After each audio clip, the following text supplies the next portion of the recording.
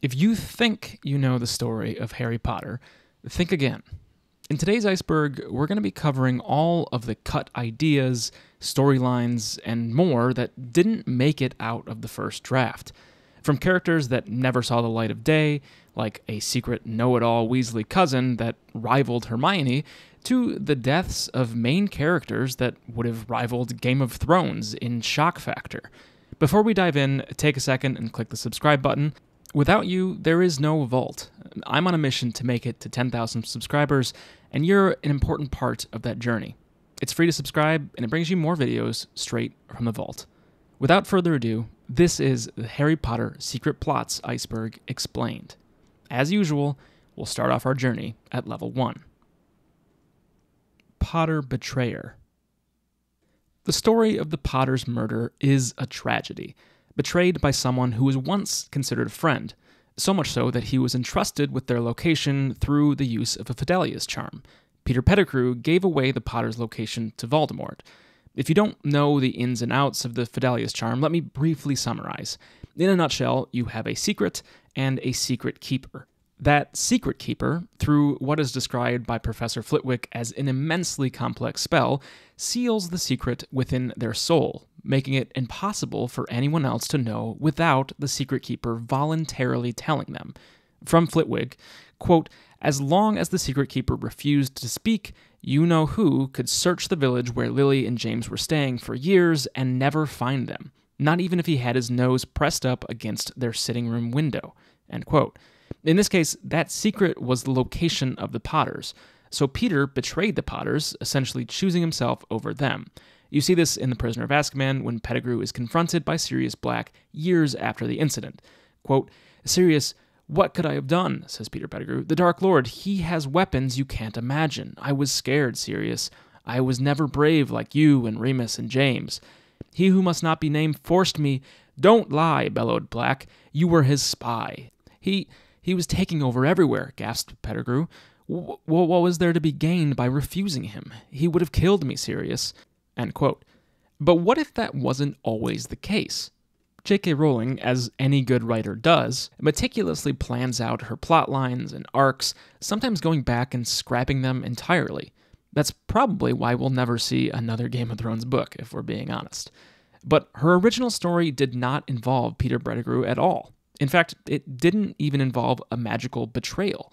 Instead, a horrible muggle is the one that betrays the location of the Potters to Voldemort.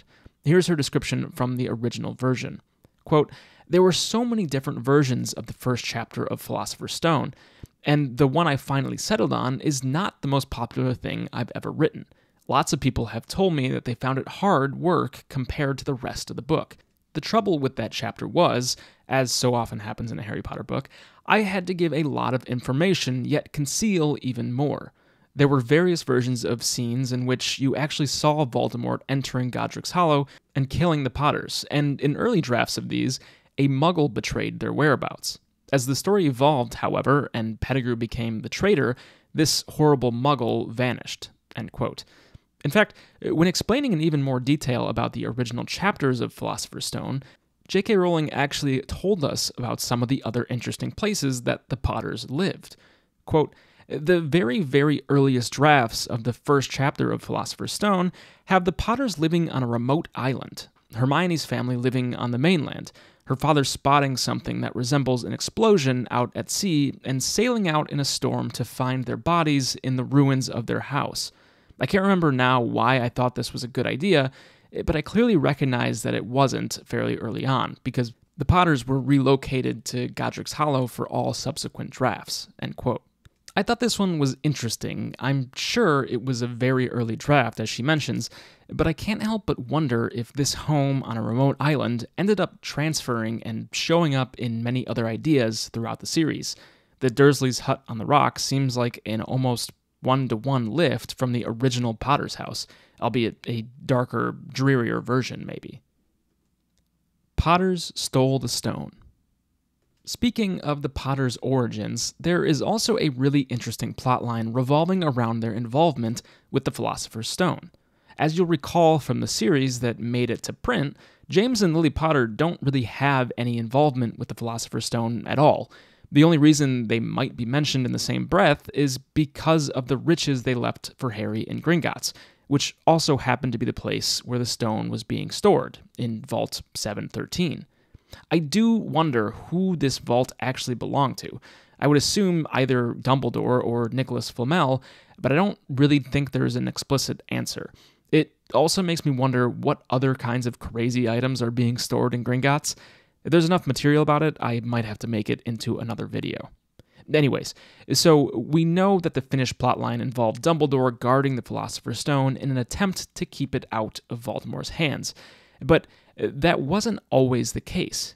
J.K. Rowling kept many, many handwritten notes of the stories she wrote, and sometimes we get a glimpse of them. This one in particular reveals a plotline that involves the Potters at the center of a heist. I'll read the transcript below. There are a few parts that are scratched out, but the general idea is there. Also, note that Flamel is actually already dead in this version, unlike the Finnish story, where he agrees to die after Voldemort almost gets the stone at the end of the book. Quote, So this Flamel bloke found the stone, said Ron. No, he made it, said Harry. He was an alchemist, which means someone who turns base metals into gold, said Hermione. She had that old proving I know more than everyone else look on her face. The other two noticed. Of course, I read about this in Alchemy, Ancient Art, and Science by, scratched out, Argo Pyrites. I missed that one myself, muttered Ron. And, uh, of course, it's some of the most difficult magic you can do. And you end up not just with pure gold, but also with a funny stone thing. Which is what I'm on about, said Harry. The Philosopher's Stone, yes. And it works too, scratched out.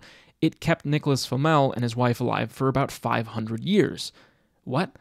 I know, said Harry, eh, but it's true. He was spotted at the opera in Paris in 1762, and he was born back in 13 something, scratched out. Ron whistled. But he's dead now, he asked. Of course, said Harry. Someone stole his stone, so he couldn't make any more elixir of life, could he?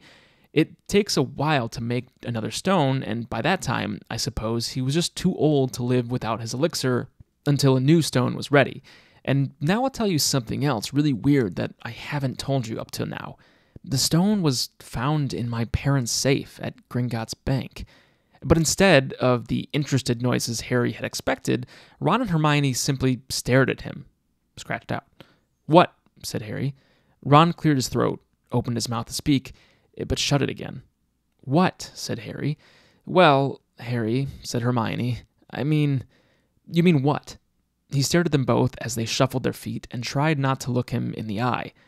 You don't think, he said suddenly and angrily, that my parents stole the stone?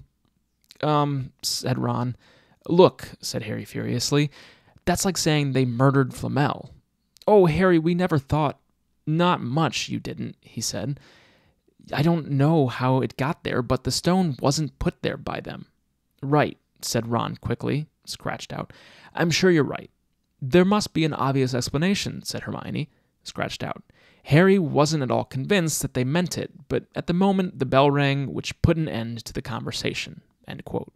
We're obviously only getting a tiny fraction of a story here, so there's a ton of unknowns. I doubt the story in J.K. Rowling's head would have been as simple as the Potters stole the stone. I'm guessing it would have had something to do with Dumbledore placing the stone in the Potter's vault for some reason, but it does make you wonder how much of the story Rowling had planned out, and at what point she had puzzled it all together. I feel like as we walk through some of these plot lines, especially in the earlier books, you get a sense that maybe her original timeline was much shorter, that instead of seven books, she might have finished it in three or four. But I'm just speculating here. We're only two in, and we've got a ways to go. Early names. All right, the last two have been pretty in depth. Let's do a couple of quick hitters. Namely, no pun intended, some original names. There are two name changes that stick out in the world of Harry Potter revisions, and I think stand as a testament to the writing and editing process. Now, these are only two, so I know there's a ton, but we'll just leave it at these two. The first name change is that of Draco Malfoy. When you look at Draco, or really any of his family, there just isn't any other name that comes to mind besides Malfoy. It really seems to me like the perfect name to match their stuck up and somewhat evil nature, and their semi genocidal beliefs.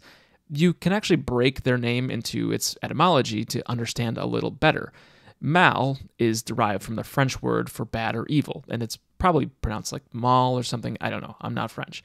Well, foy, foy, foi in French, I, maybe it is foi. It means faith. So Malfoy basically means bad faith, which really does seem to fit quite well, specifically for Draco, though somehow he comes out the other end not imprisoned. But his surname was not always Malfoy. Some notable alternatives that J.K. Rowling had in mind included Spungen or Spungen, I'm not sure how you would have pronounced it, or Spinks. Let me know your thoughts on these. Spungen, Spungen sounds dirty to me for some reason, and Spinks sounds a little too playful, but maybe it's reminding me of Tonks. I guess the Tonks family is related to the Malfoys, so it's entirely possible that somehow it went from Spinks to Tonks. Eh, regardless, I'm glad we ended up with Malfoy at the final version. One other name was that of Hermione Granger. We're all familiar with Granger. It's hard to imagine her as being anything else, but that wasn't always the case. Originally, J.K. Rowling had planned to call her Hermione Puckle, which is interesting, but there were two reasons that came to mind as to why she might have shied away from Puckle as a last name. First of all, it would have meant that Hermione would have the same initials as Harry Potter, which was probably enough of a reason to change it on its own. But the second reason for me was that Puckle sounds a little too whimsical for a muggle family of dentists. For whatever reason, Granger just sounds like so much more of a dentist name. No offense to any of you dentists out there. But maybe that's just me. Maybe I need to schedule a dentist appointment. Chamber of Secrets Crash Landing.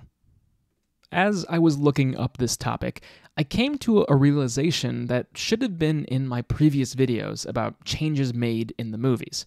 I kept searching for the Black Lake, only to find J.K. Rowling consistently refer to it as the Great Lake, but at the same time, the book seems to refer to it exclusively as the lake, with no great or black prefix at all. These changes are always so interesting to me because what was the point? Why make such a tiny change for the movie? What's the point of calling it the Black Lake in one place and the Great Lake in another and just the lake in a third? I don't really get it. Regardless, there's more to this than just the name of the lake, which is actually a Scottish loch, which is also a lake, if it's located in Scotland. I'm telling you, my Google search history while writing these videos is a roller coaster. So, the crash. If you remember Ron and Harry's magical car ride to get to Hogwarts in their second year, you'll also recall their crash landing of the Ford Anglia Anglia. I don't know. I'm not British. Anyway, they crash this into the Whomping Willow. The car promptly kicks the boys out of the driver and passenger seat and drives off on its own. It does, of course, later return to save them from death by spiders, but it again returns to the forest. We'll circle back to that later in the iceberg. In the original draft of the Chamber of Secrets, their crash was actually going to be much different, and would have had much larger implications on the magical world as a whole. Here's J.K. Rowling discussing the original plotline. Quote, in the original draft of The Chamber of Secrets, I had Harry and Ron crash into the lake in Mr. Weasley's Ford Anglia and meet the mer people there for the first time. At that time, I had a vague notion that the lake might lead to other places and that the mer people might play a larger role in later books than they did, so I thought that Harry ought to be introduced to both at this stage. However, the Whomping Willow provided a more satisfying, less distracting crash, and served a later purpose in Prisoner of Azkaban as well. The Great Lake, which is really a Scottish loch, apparently freshwater and landlocked, never did develop as a portal to other seas or rivers, although the appearance of the Durmstrang ship from its depths in Goblet of Fire hints at the fact that if you are traveling by an enchanted craft, you might be able to take a magical shortcut to other waterways. Here's the account of the ship actually arriving to Hogwarts via some magical underwater transportation method. Quote, Slowly, magnificently, the ship rose out of the water, gleaming in the moonlight. It had a strange skeletal look about it, as though it was a resurrected wreck, and the dim, misty lights shimmering at its portholes looked like ghostly eyes. Finally, with a great sloshing noise, the ship emerged entirely, bobbing on the turbulent water, and it began to glide toward the bank. I can imagine that in writing a series as sprawling as Harry Potter, one of the most difficult parts would be choosing which magical objects and plot lines to include, and which to cut. What's surprising to me is that it seems like a rather large component of the book that was cut. I have no idea what kind of greater role the Mer people would have played in a later book. It's hard to imagine Voldemort having to fight a bunch of Mer people, but stranger things have happened, I guess. Nearly Headless Backstory Something that seemed to have a much larger part in the books than in the movies was the presence of ghosts and spirits. We had quite a few in the first movie. We had Moaning Myrtle in the Chamber of Secrets, and I'm sure there were more after that, but I can't think of any major plot lines or stories in the movies where the ghosts and spirits of Hogwarts played any real meaningful role. But there were also other ghostly bits that were cut from the movies, including the Death Day party. In the books, this party of ghosts that Harry's invited to attend functions as a way to introduce us to Moaning Myrtle, the movies instead take a more direct path, having the gang find her on their own in the bathroom. But on to the main ghost of this topic Sir Nicholas de Mimsy Porpington, also known as Nearly Headless Nick. I think I got that pronunciation. Nearly Headless Nick was executed back in 1492, but the exact circumstances of his execution were not described in great detail. There is a scene in the books in Prisoner of Azkaban where Nick reenacts his beheading, but to my knowledge, he never really explains how he got there in the first place. J.K. Rowling, on the other hand, had other plans, originally giving him a self written poem or ballad to explain his backstory. I'll let Nick's words do the honors. Quote, It was a mistake any wizard could make, who was tired and caught on the hop. One piffling error, and then, to my terror, I found myself facing the chop. Alas, for the eve when I met Lady Grieve, a strolling the park in the dusk. She was of the belief I could straighten her teeth. Next moment she sprouted a tusk. I cried through the night that I'd soon put her right, but the process of justice was lax. They brought out the block, though they'd mislaid the rock, where they usually sharpened the axe. Next morning at dawn, with a face most forlorn, the priest said, Try not to cry. You can come just like that, no, you won't need a hat, and I knew that my end must be nigh.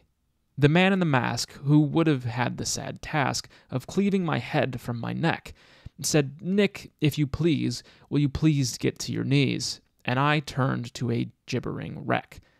This may sting a bit, said the cack handed twit, as he swung the axe up in the air. But oh, the blunt blade, no difference it made. My head was still definitely there. The axeman he hacked and he whacked and he thwacked. It won't be long, he assured me, but quick it was not, and the bone-handed clot took forty-five goes till he floored me. And so I was dead, but my faithful old head, it never saw fit to desert me. It still lingers on, and that's the end of my song. And now, please clap, or you'll hurt me. End quote. So he was essentially a terrible wizard dentist, and instead of fixing the teeth of a wealthy aristocrat woman, he gave her a tusk instead. What's really interesting here, and something that isn't mentioned, is that at the point where Nick is practicing his magical dentistry, muggles and wizards are supposedly living in community. It wasn't until the International Statute of Wizarding Secrecy in 1692 where the two split which implies that everyone could have known that Nick was a wizard, and since they killed him, it seems like they didn't give him a chance to remove the tusk from the woman either. So instead of letting the magical person try to remove the tusk, she would have chose to just execute him and then live the rest of her days with a tusk. He seems to have been executed the very next day, despite crying through the night that he would fix his mistake. I guess there could have been another wizard that could fix it for her, but anyway. I don't know about you, but when I see songs and books, I tend to sort of skip over them. I don't know what it is about them, but as soon as I see more than a few lines written in that way that songs are always typed out in books, my eyes just sort of glaze over them and pick up right after. I don't know. Maybe I'm alone there. I'm sure you'll roast me in the comments for that, but I'm just being honest with you all. And speaking of the honest truth, did you know that only 3% of you subscribe to this channel? 3%. If you're not subscribed, do me a favor and click the button. Okay, good. Thank you. Now on to level 2. Flipped order. You may think you know the Order of the Phoenix, and you may think you know Dumbledore's army, but what if I told you you had it all flipped upside down and reversed? If you look at scans of J.K. Rowling's original notes and outline, she consistently refers to a group that Harry is starting as the Order of the Phoenix, not as the Dumbledore's army, something that wouldn't become the case until a later version of the story. She also had a section titled, quote, D.A, which one can only assume is a reference to Dumbledore's army. Within that column, she refers to characters and events that will eventually associate with the Order of the Phoenix. I, for one, think this is an example that shows the importance of multiple drafts in the version of a story. This is basically the whole point of this video is to show what J.K. Rowling's original ideas were and what they became. In a lot of these examples, you can see hints of storylines that were changed and adapted to fit other threads. Most of the time, I think these were good changes. Dumbledore's army and the Order of the Phoenix, for example, I think are much better and appropriate when associated with the groups in the final version of the story. The idea of Dumbledore calling his group of adult resistance fighters after himself seems a little self absorbed and, in many ways, the antithesis of what Dumbledore always wanted. He may have been a cunning strategist and rather shrewd with the way he regarded human life. In many ways, he was always thinking about the greater good, not the lives of individual witches and wizards. I mean, he even sacrificed himself, all in an effort to catch Voldemort in a trap. So the idea that he would name the group after himself seems childish. All the more reason that the name fits better with Harry's group. Switching Dumbledore's group of adults to the Order of the Phoenix is not only a more refined name, one that wouldn't immediately give away their allegiance and attentions, eh, but it also makes more sense from a literary perspective. It's obviously a reference to Fawkes, eh, but it also represents a rebirth of wizarding society, and even through the death of many of its members, it could be reborn in the future. On the other hand, when you look at Harry's group of student fighters, it makes quite a bit more sense for them to call themselves Dumbledore's army, especially at the point in the story when it's formed. Harry, at this point in the story, does not have all the information. He still believes Dumbledore is a sort of pure savior figure and knows nothing about the sacrifice he's being groomed into being. So, to eventually settle on Dumbledore's army after Ginny's suggestion makes much more sense, and not only do they choose it to mock the Ministry of Magic and frighten them into believing that Dumbledore is going to attempt some sort of coup, eh, but also, I have no doubt, because of Harry's and most of the members' undying loyalty to Dumbledore. Arthur Weasley's death. Despite Harry Potter not quite being the same when it comes to main character deaths as something like Game of Thrones, there were still quite a few memorable send offs that left all of us in anguish. There's, of course, Dumbledore, but that's kind of just part of the plot in my memory. Sirius Black's death is probably one that fans will remember the most after Dumbledore. And then there's, of course, the tragic deaths of Dobby, Cedric Diggory, Snape, Hedwig, Tonks, and Lupin. And there are others that hurt more. Think, for example, of George Weasley's death in the Deathly Hallows. You know, I'm just kidding. I'm sure some of you jumped out of your chairs there. Fred's death was such a sad moment, and it barely even got that much attention in the books, much less so in the movies. But there was originally going to be one more on this list, in particular, an additional member of the Weasley family. To set the stage, you'll remember that after a few failed attempts at killing Harry, Voldemort set out to hear the prophecy for himself and ahead of his eventual visit and duel with Dumbledore, he sent his snake Nagini. Harry then gets a front row seat to the event where Nagini finds a sleeping Arthur Weasley guarding the prophecy. She attacks Arthur and lands him in St. Mungo's. A side note here, because I don't remember, why did he send Nagini in the first place? Was it like a scouting mission? I don't really know why it was necessary when a couple of Death Eaters probably could have handled the job.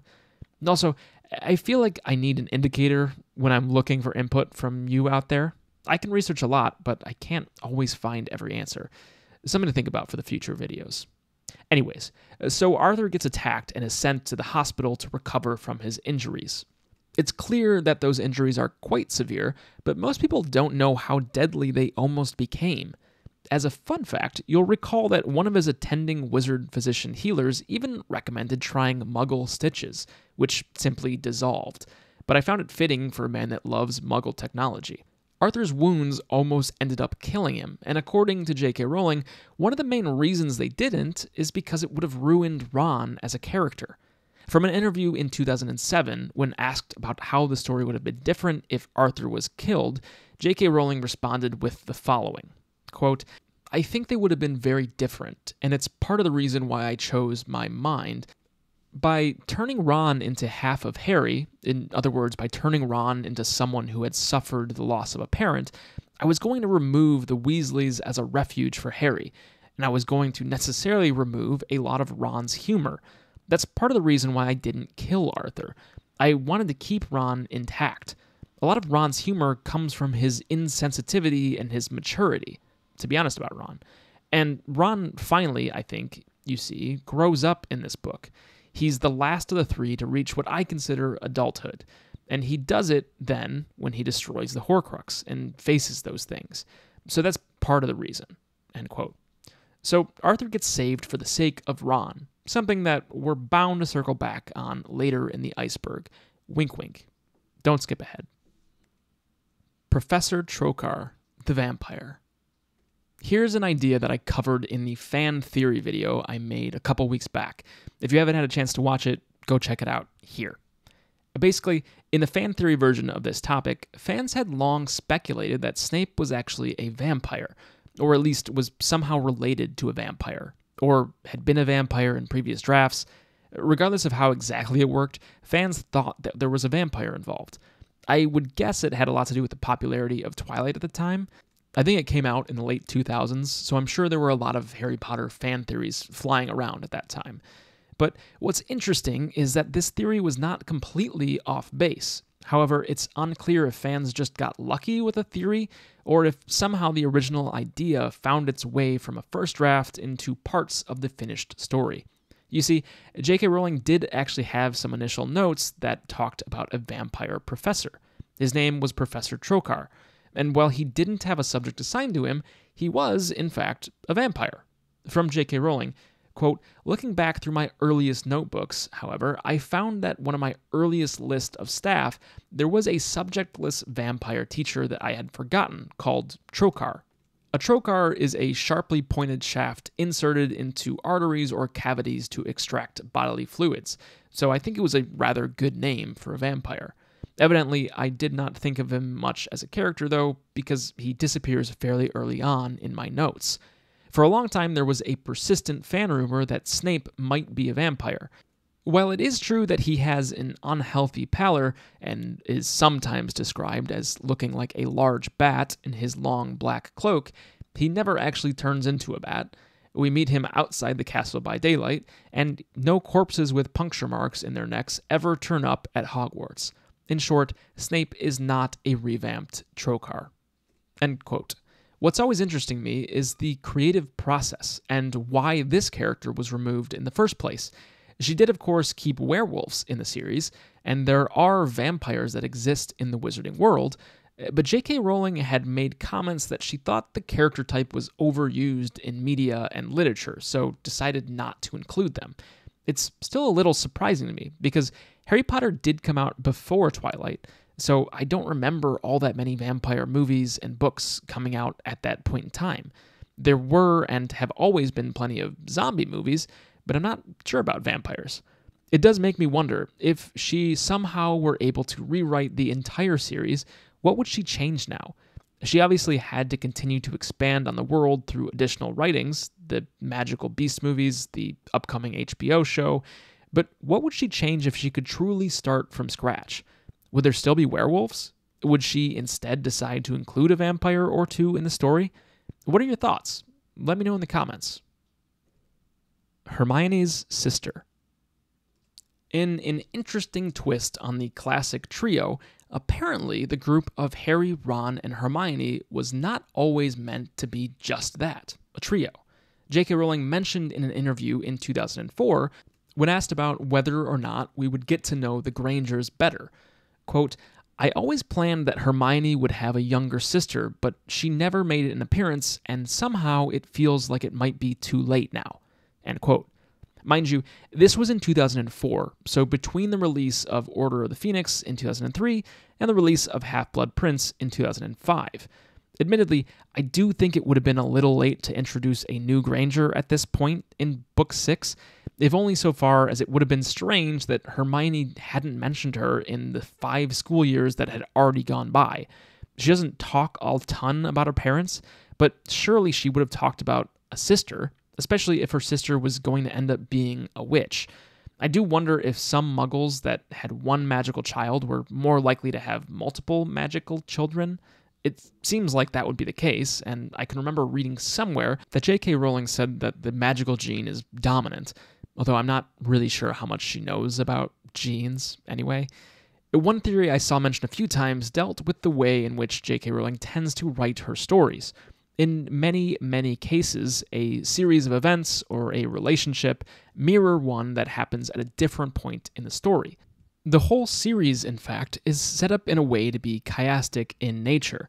That is, if you're not aware, a structure in which early parts of a story mirror those in the later part. Parts in the middle mirror those that are closer to the middle on the opposite side. So think of book 1 and 7 pairing up, 2 and 6, 3 and 5, and 4 marking a middle point. Thematically, it makes a lot of sense, and the books definitely take a darker turn in book 4. So why do I bring this all up? Only to say that some suggestions were that Hermione's sister might have been a mirror to the relationship of Lily and Petunia Evans. That's Lily Potter's maiden name. Hermione obviously being the witch, and her sister potentially being a muggle. This could have potentially set up a mirror to Petunia and Lily in that it would have been a much more loving and caring sister relationship, rather than the estranged one that we see with Lily and Petunia. It could have been interesting, but I don't blame her for writing her out of the script by the time Half Blood Prince came out. I don't think two books really would have been enough to include potentially important characters and close relationships at that point. Uh, speaking of a chiastic nature, we're at the middle of this video, so before we drop down to level 3, why don't you take a chance and subscribe to the channel? We're making our way to 10,000 subs, and I'd love to have you along for the journey. While you click that button, let's dive deeper down to level 3.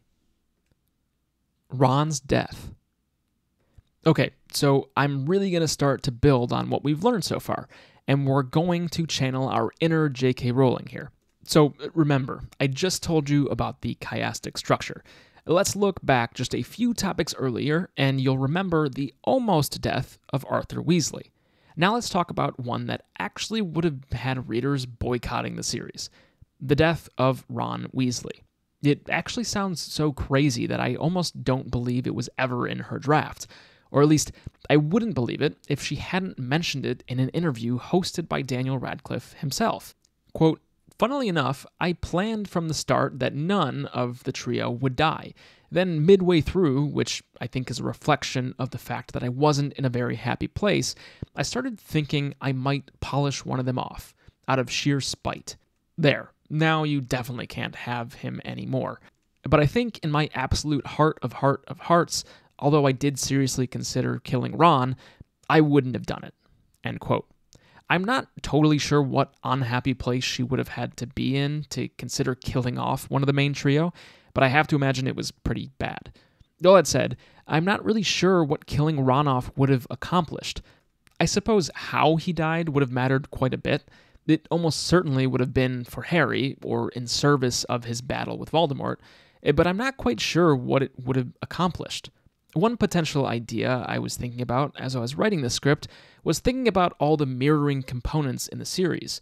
Maybe J.K. Rowling had intended for Ron to die in the final book, The Deathly Hallows, in a way that would have mirrored the first book. Perhaps Ron would have sacrificed himself as a part of the grand chess match between Voldemort and Dumbledore slash Harry.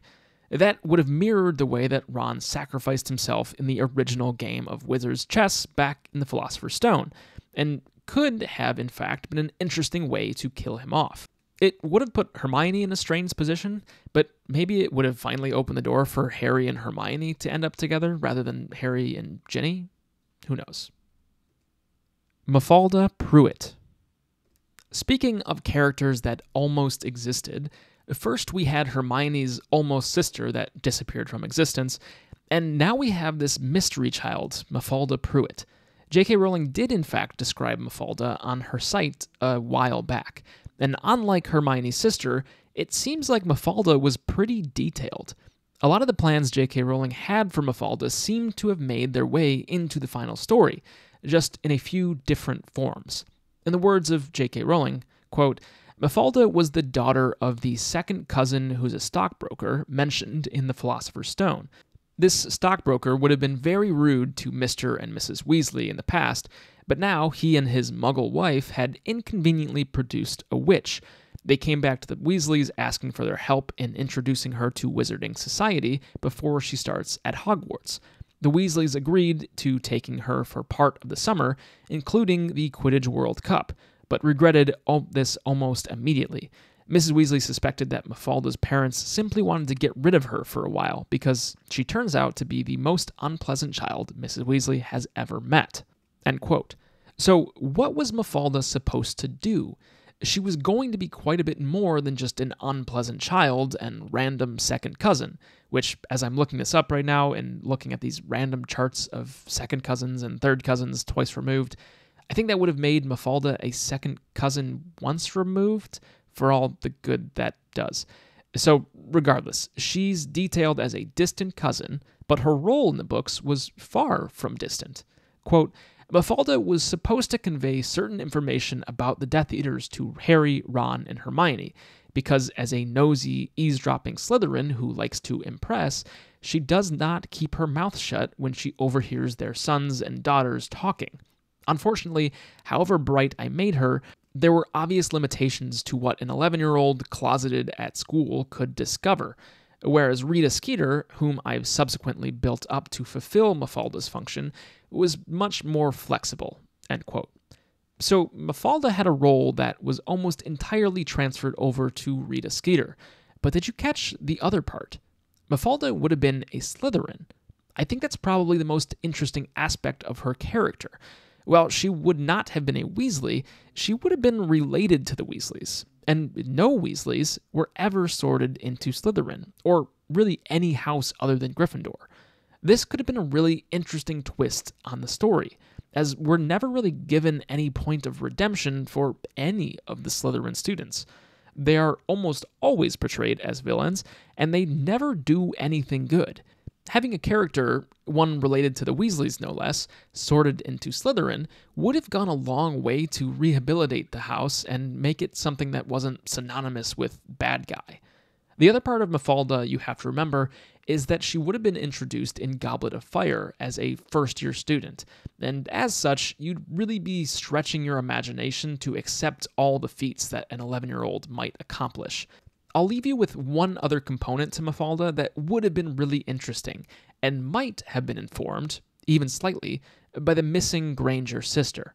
Quote, the best thing about Mafalda was that she was a match for Hermione. To the latter's horror, Mafalda was highly gifted and a real show off, so that Hermione was torn between deploring the rule breaking and longing to join in and beat her. End quote.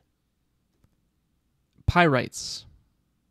We're on a roll with characters that didn't end up existing, so let's keep it going with one more. Labeled as an early supporter of Voldemort, potentially even a follower back when Death Eaters had a different name, the Knights of Walpurgis, apparently there's some folklore around Walpurgis that I wasn't aware of. It's some old German folklore that I'm not really going to read too much about. Uh, suffice to say, it had something to do with witchcraft or religion and was a certain holiday that was celebrated. Anyways, I don't think that's super relevant. I'm just saying it was a kind of lame name for a gang. Walpurgis? Anyway. So, back to the missing character in question. Pyrites was a very earlier supporter of Voldemort that was cut from J.K. Rowling's drafts pretty early on. it seems that some of his roles were switched to different characters to fulfill his duties. Wormtail, for example, seems to be a prime example as a loyal servant that might have had similar responsibilities to Pyrites. That said, it does appear from J.K. Rowling's description that he was much more suave than Wormtail, so I would guess that a lot of that got stripped out with the early drafts. Quote, other drafts included a character by the name of Pyrites, whose name means fool's gold. He was a servant of Voldemort's and was meeting with Sirius in front of the Potter's house. Pyrites, too, had to be discarded, though I quite liked him as a character. He was a dandy and wore white silk gloves, which I thought might stain artistically with blood from time to time. End quote.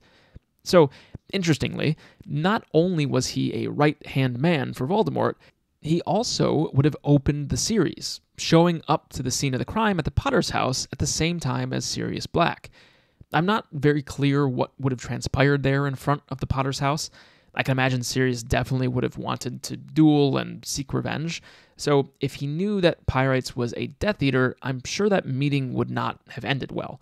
But it's also entirely possible that J.K. Rowling didn't really know how that part of the story was going to go either. She mentions that Pyrites was removed from the story pretty early on, so I doubt that all the details involving his character were polished. If anything, it does make me interested in seeing what this character would have been like. We see a lot of different Death Eaters, but most of them seem like misbehaving socialites, except for Bellatrix, of course. They come off as wealthy, racist people who also happen to kill people, but that sounds more like cult follower to me, listening to their leader. Pyrites, on the other hand, with the little we know about him, seems more like he could have been an opportunity to be a truly dark and twisted second in command for Voldemort. But I guess we'll never really see that. Mad Eye Origins. You will all, of course, remember Sybil Trelawney the seer famous for divining the chosen one prophecy. But from what I can find and remember, she wasn't actually all that great at fortune telling. Instead, her skills seemed to be uncontrollable. But she wasn't always the only fortune telling witch or wizard in the story. And at this point, you might be wondering how in the world this is going to connect to Mad Eye Moody. But I'll get there. Stick with me. You see, J.K. Rowling talked about this in an early interview back in 2005. The interviewer was praising the fact that the books were being translated into Braille and that blind children around the world would finally be able to read the books. J.K. Rowling then flipped this into an anecdote about a blind professor she had once included in an early draft of the story by the name of Mopsus. Whether it was supposed to be Mopsus or Mopsis, I'm not sure. Okay, I actually looked this up while recording, and as she says, it's based on some Greek mythology, so the pronunciation is actually Mopsu. I would have never guessed that. From that interview, quote, at one point there was a blind character who went by the name of Mopsu. And I will let you look him up because there is a mythological connection there. But he sort of, that was a very early character, and he had the power of second sight. In other words, he was a bit like Professor Trelawney. He was a very, very early character. This was when I was drafting Philosopher's Stone. The reason I cut him was he was too good. As the story evolved, if there was somebody who could really do divination at the time that Harry was alive, it greatly diminished the drama of the story because someone out there knew what was going to happen. So that is why Mopsu went, and I've never really replaced him, although I suppose Mad Eye Moody had some of Mopsu characterization. He has one magical eye because he lost an eye in a fight with a Death Eater. So, good question. End quote. What isn't really clear is how much of Mad Eye Moody's character was pulled from Mopsu's character. Was it just the eye, or were there actually character traits that were pulled from him as well? It is rather interesting that he gains an eye with some very unique and powerful seeing abilities.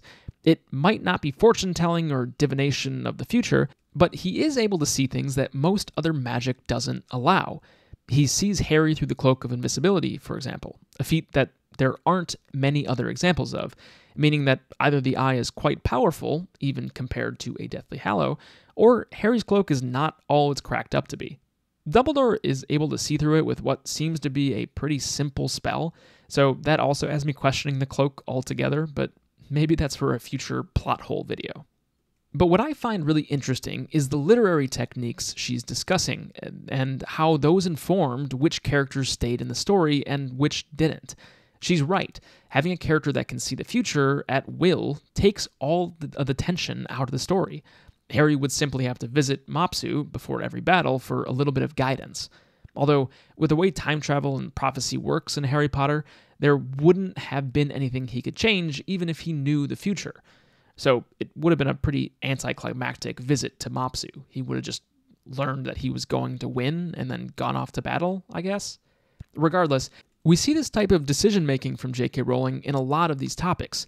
There are more to come, but even in the items we've discussed so far, Mafalda, Arthur's death, even the way the Potters are betrayed, are all edited from the first draft to better aid in the narrative. And I think that's fascinating. I would have loved to see more notes about the use of the Cloak of Invisibility, as it's basically another way for J.K. Rowling to push the narrative forward in a way that removes Harry from the situation. He can sit and watch a conversation happen without being present in the scene, which allows the reader to be present in the scene that they otherwise shouldn't have been able to see. And just like Harry sitting there and observing something happen, if you're sitting here watching this video unfold, I'd suggest clicking that subscribe button Go ahead. You can do it. Just a quick click. And with that, we're off and down to level 4. Sorting process. Of all the changes that I've walked through in this video, I don't think there are any that better exemplify the importance of a creative process and of developing and critiquing ideas. The sorting hat, and the process associated with it, is likely one of the most recognizable aspects of the Harry Potter world. If you asked 100 people on the street to name a random scene from Harry Potter, I have no doubt that the sorting hat would rank pretty highly on there. It's a unique idea that kicks off the entire series with the acknowledgement that, yes, the world is dark, but also there's some fun and whimsy in it. But it wasn't always this way. In fact, by my count and the research that I did, the sorting process seems to have undergone no less than five changes from the first draft to the final sorting hat that we know and think of today. Quote, the sorting hat does not appear in my earliest plans for Hogwarts. I debated several different methods for sorting students because I knew from early on that there would be four houses, all with very different qualities. End quote. The first idea she mentions in an old post from 2015 was some sort of elaborate machine. For my American viewers, she's going to mention a Heath Robinson machine. Just replace that in your mind with Rube Goldberg. Quote, the first was an elaborate Heath Robinson ish machine that did all kinds of magical things before reaching a decision. But I did not like it. It felt at once too complicated and too easy. End quote. This idea seems like she removed it pretty early on in the process, which on one hand I do think is a bit of a shame I can picture that machine working in my head, eh, but I do think she's right in that it would have been too easy. It would have hidden all the workings of the sorting process behind some inscrutable machine. You wouldn't have been able to speak to the machine. It wouldn't have been a character in the same way as the sorting hat. Half of me wonders if this is the beginnings of the magical antics of the Weasley twins. The Rube Goldberg idea seems much more in line with the way that you would dispense candy rather than sort students. And next, the ideas started to narrow in. Quote, Next, I placed four statues of the four founders in the entrance hall, which came alive and selected students from the throng in front of them while the school watched. This was better, but still not quite right. End quote. Interestingly, this exact method seems to have been adopted for the students from Ilvermorny, the wizarding school in Massachusetts.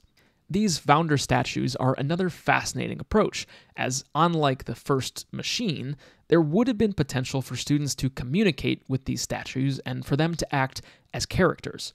Although I'm not sure we really would have wanted to hear much from Salazar Slytherin, eh, we'll leave that one alone. Lastly, she started to close in on the final decision, but not before what seems to be a foray into desperation. Quote, Finally, I wrote a list of ways in which people can be chosen eeny, meeny, miny, mo, short straws, chosen by team captains, names out of the hat, names out of a talking hat, putting on a hat, the sorting hat, End quote. I had also read during my research that part of the idea for the hat came from the fact that one of the founder statues, not sure which, would have been wearing a hat, and that there was a possibility that during the creative process, those four statues, those four founders, were distilled down into a single sorting statue that wore a wizard hat. Combine that with the idea of choosing a name from a hat, and once you remove the actual wizard from that equation, suddenly you have a whimsical talking hat with a mind of its own, and a stubborn streak. There were also a few other ideas she didn't mention in that original blog post, but they do appear in a handwritten draft. The first one of that draft includes a ghost court, which would have ostensibly been responsible for sorting the first year students. In the same vein, there was also a selection committee, seemingly made of prefects. There were also methods like walking through a magical gateway or answering a question or riddle.